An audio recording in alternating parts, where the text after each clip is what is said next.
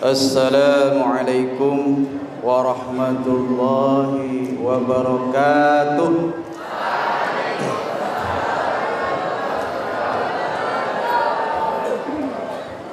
Ustadz Muhibat nongkrong di depan kolam.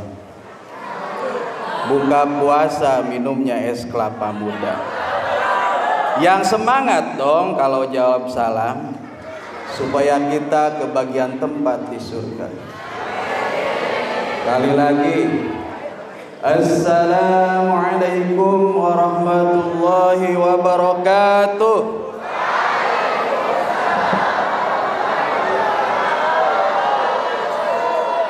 Ustaz Aang suka makan opak.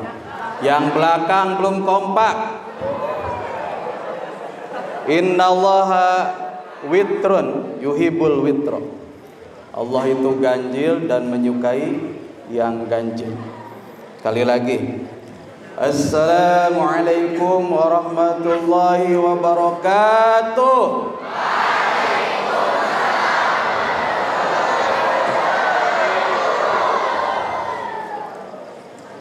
Innal hamdalillah nahmaduhu wa nasta'inuhu wa nastaghfiruh ونعوذ بالله من شرور أنفسنا ومن سيئات أعمالنا. من يهده الله فلا مضل له ومن يضلل فلا هادي له. أشهد أن لا إله إلا الله وحده لا شريك له. واشهد ان محمدا عبده ورسوله لا نبي بعده اللهم صل وسلم وبارك على سيدنا محمد وعلى اله وصحبه اجمعين قال الله تعالى في القران الكريم وهو اصدق القائلين أعوذ بالله من الشيطان الرجيم. إنه إنه لقرآن كريم في كتاب مكنون يمسه إلا المطهرون. تنزيل من رب العالمين. وقال رسول الله صلى الله عليه وسلم في الحديث اقرأوا القرآن فإنه يأتي يوم القيامة شفيعا لأصحابه. صدق الله العظيم وصدق رسول النبي الكريم ونحن على ذلك من الشاهدين. رب اشرح لي صدري. Li amri wahlul 'uqdatam min lisani yafqahu qawli. Amma ba'd.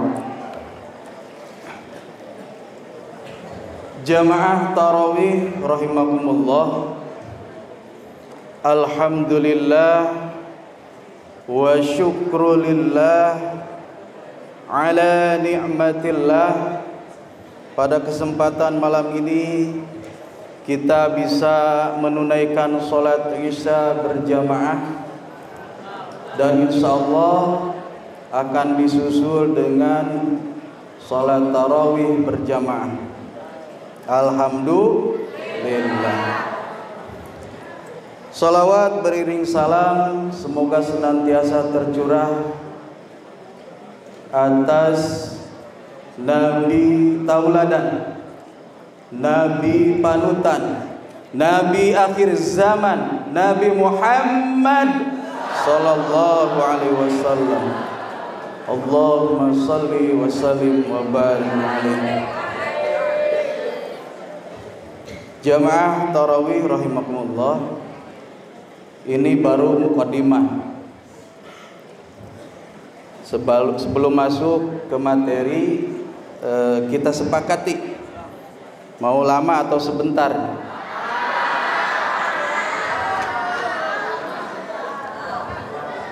Saya mengutip apa yang disampaikan Ustadz Hayat kemarin. Kalau tausiahnya lama, liburnya lama. Kalau tausiahnya sebentar, liburnya sebentar. Jadi pilih mana nih? Pilih lama apa sebentar?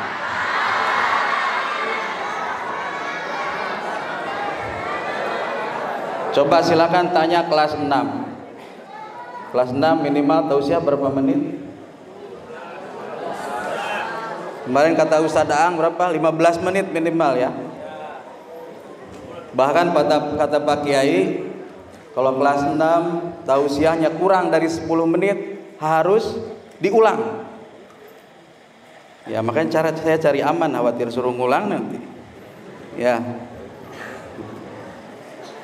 Jadi mukadimahnya udah berapa menit? 5 menit nih mukadimah. Lumayan. Ya.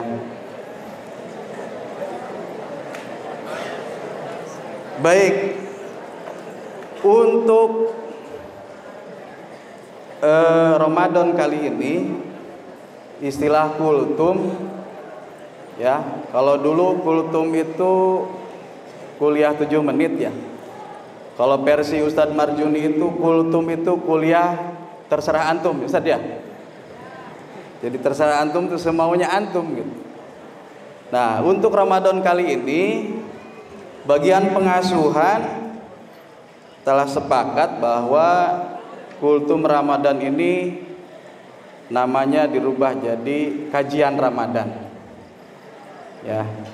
Yang nama kajian itu agak lumayan lama Ya, tapi insya Allah di sini saya tidak akan lama-lama ya. Hanya membahas eh, sedikit tema kajian Ramadan pada malam ini. Insya Allah akan kita yang akan kita bahas adalah tentang memuliakan Al-Quran. Ya ini momentum yang sangat tepat karena Al-Quran itu diturunkan di bulan suci Ramadan Jamaah tarawih yang dirahmati Allah. Al-Quran itu kitab suci. Jadi kita menyentuhnya pun harus dalam kondisi suci. Seperti kata MC Untuk acara selanjutnya yaitu pembacaan ayat suci Al-Quran Yang akan dibacakan oleh Pedo Adrian santri kelas 1 MI kepadanya kami haturkan. Itu kata MC acara selanjutnya yaitu pembacaan ayat suci Al-Quran. Oleh karena itu kita memegang mushaf Al-Quran ya harus dalam kondisi suci. Sebagaimana yang tadi di, telah dikutip di awal ya A'udzu billahi minasyaitonir rajim. La yamassuhu illal mutahharun. Tidak ada yang menyentuhnya selain hamba-hamba yang disucikan. Quran surat Al-Waqiah ayat 79. Kemudian bicara tentang memuliakan Al-Qur'an, di sini saya mencoba membuka kitab ya, kitab Durusul Lughatil Arabiyyah al-juz'ul awal di saful awal safha mi'ah wa idasyar di sini ada mutolaah. Judulnya Al-Quran. Ya, kalau pedo dan kawan-kawan sudah nyampe ya. Materi kelas 1 kelas 6 khawatir lupa. Di sini saya ingatkan kembali Ya, tidak akan dibaca semua, hanya ada beberapa poin penting yang akan saya sampaikan. Al-Qur'an Naqra'ul Qur'ana qabla qira'ati durus. Al-Qur'anu kitabun karim. Nadha'uhu fi makanin murtafi'in. Nahtarimul Qur'ana bi qira'atin katsirah. Syifa'ul janani fi qiraatil Quran. Apa poin pentingnya? Yang pertama, kaitannya dengan memuliakan Al-Qur'an. Yang pertama, naqra'ul Qur'ana qabla qiraatid durus. Yang pertama hendaklah kita membaca Al-Qur'an terlebih dahulu sebelum kita membaca pelajaran. Walaupun santri nih kelas 1 sampai kelas 5 lagi PTS ya. Kelas 6 juga lagi sibuk dengan bahsul masailnya. Usahakan sebelum masuk atau sebelum megang buku pelajaran ya, pegang Quran dulu ini ada sebuah kisah menarik ya. Mudah-mudahan tidak salah. Saya pernah mendengar seorang penceramah menyampaikan bahwa almarhum B.J. Habibie. Allah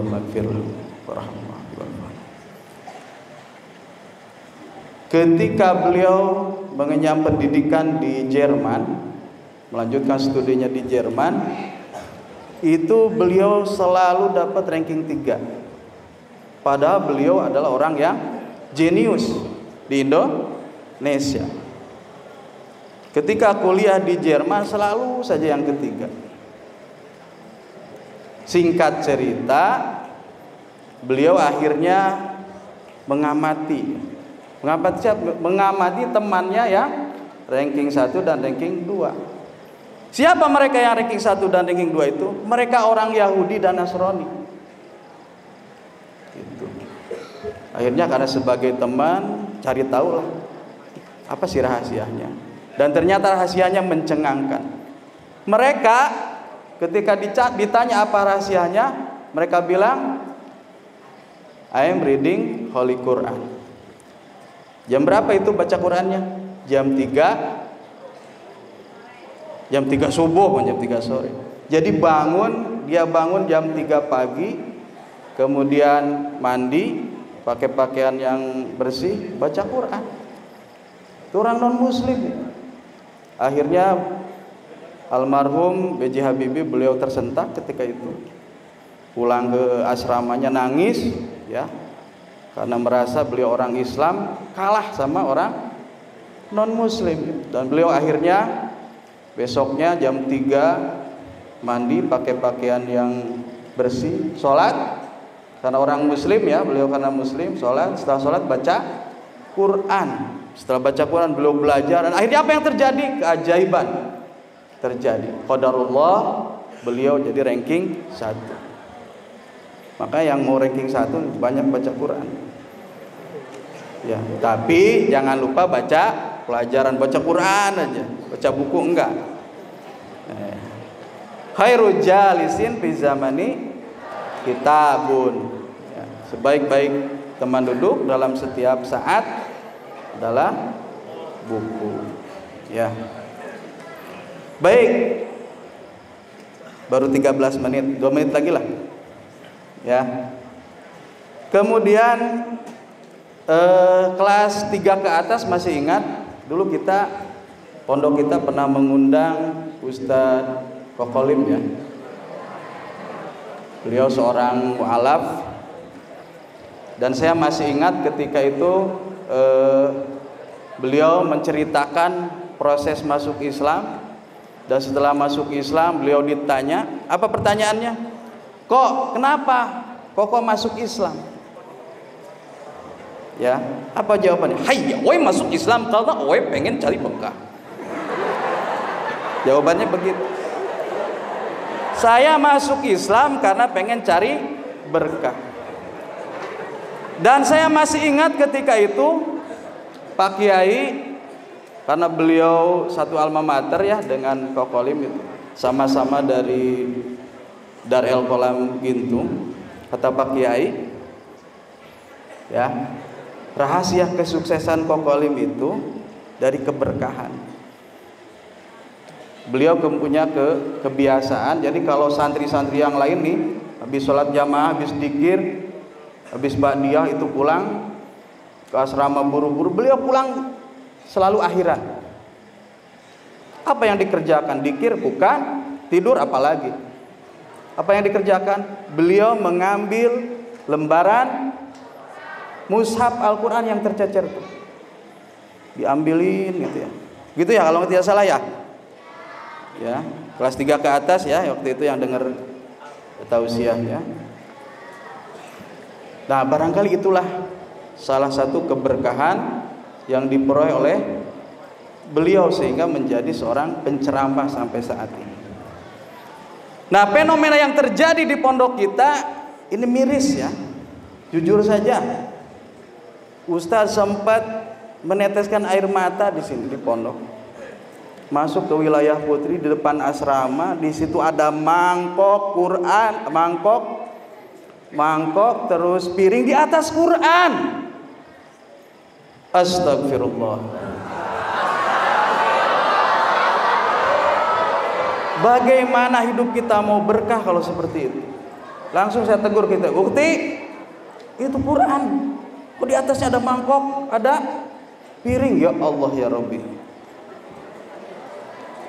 Yang lagi mencengangkan lagi waktu liburan. Ustaz sedang berupaya menyelamatkan ikan-ikan yang hanyut di kolam. Begitu ditarik, waduh berat nih, gede kayaknya nih ikan. Begitu diangkat Quran 30 juz dalam kondisi utuh. Astagfirullahaladzim. Dan yang menyedihkan, Quran itu dalam kondisi berlumpur, berarti sudah lama tuh tenggelam tuh. Ya Allah, saya ambil, saya keringkan gitu ya. Tapi karena sudah lama di air kayaknya, itu masih ada resletingnya itu. Ya. Masih utuh 30 juz. Astagfirullahaladzim. Baik, masih seputar Al-Qur'an. Makanya kemarin ya, saya berusaha bekerja sama dengan pengurus OSPM bagian Ubudiyah. Saya sampaikan, tolong sisir Al-Quran yang ada di kelas, yang ada di gubuk, di dapur, di mana pun itu. Ya, tapi kemarin itu tiga zona ya, yang disisir itu kelas putri, kelas putra, dan kuh, gubuk. Dan hasilnya mencengangkan. Kenapa Ustadz minta pengurus OSPM untuk menyisir? Karena sering menemukan Quran tergeletak di kelas Tadi pagi lihat di atas rak sepatu Quran. Astagfirullahaladzim. Baik, ini data yang saya terima dari pengurus OSPM Putra bagian Ubudiyah. Data Al-Quran yang tercecer di sekitar wilayah pondok. Kelas putri 145 Al-Quran kelas putra 146 Al-Quran. Di gubuk kolam dan perpustakaan putra 7 Al-Quran. Di gubuk atas ya atas masjid sana 2 Al-Quran. Total 300 Al-Quran yang tercecer. Pertanyaannya siapakah pemiliknya? Yang jelas pemiliknya adalah santri asa ada Ustaz sering menemukan itu. Akhi, angdur. Ternyata Qurannya bukan punya dia. Enak, lah ke Quran gitu kan. Geleng kepala, enggak Quran enggak punya. Pakai punya temannya. Makanya khusus untuk bagian ubudiyah nanti sebelum perpulangan dicek Qurannya. Kalau sempat dari sekarang tuh dicek yang nggak punya Quran wajib punya Quran Baik. Sebenarnya masih banyak ya. Tapi waktunya tidak mencukupi. Ya. E, insya Allah kita lanjutkan e, di kesempatan atau di lain kesempatan. Mudah-mudahan kita semuanya panjang umur, diberi kesehatan, Rubama ilahi ilamini wal afu minkum sukran kasiran nasru minallah fatum qarib wassalamualaikum warahmatullahi wabarakatuh